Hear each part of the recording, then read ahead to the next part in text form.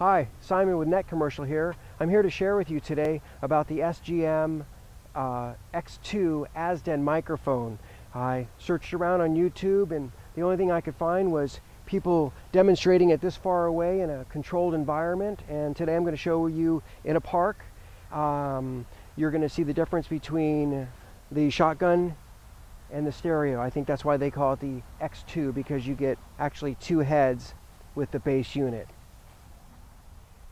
The SGM 2X has two positions. One is at the base, which will pick up all your sound.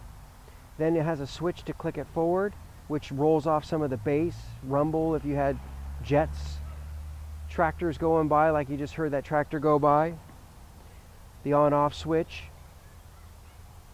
There's also an XLR connection. Don't worry, they make an adapter that will plug into the microphone XLR and then we'll stab into the camera. This is just a little pan. This comes out mono because all microphones usually are all mono. And I put this on and that'll pan it left and right into my camera. Let me demonstrate the microphones now. Okay, I'm back.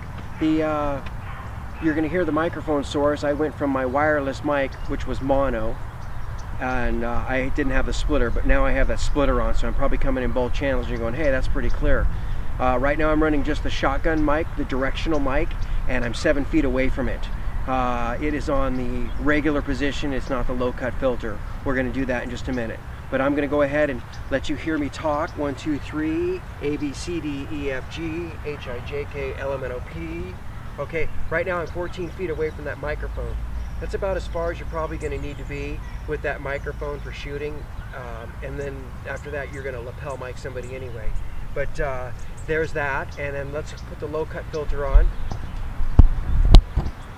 Okay, and that's with the low cut filter on. That should have rolled out some of the bass, so my voice might have got a little tinnier, but that's supposed to reduce the, uh, the traffic going by or the rumbles outside, airplanes and whatnot.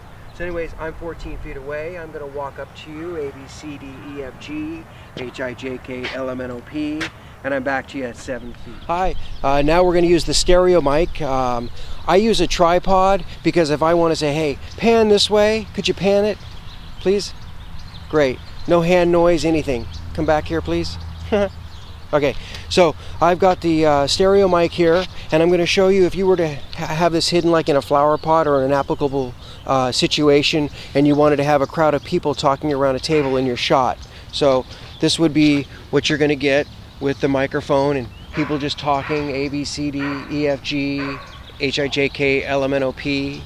And then if somebody were to be walking up, you know, hi everybody, one, two, three, A, B, C, D, okay and then here it is on the other side of it. And I'm still talking one two three A B C D E F G.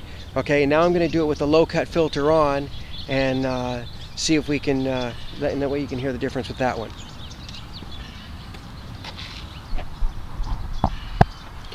Okay that's with low cut filter on.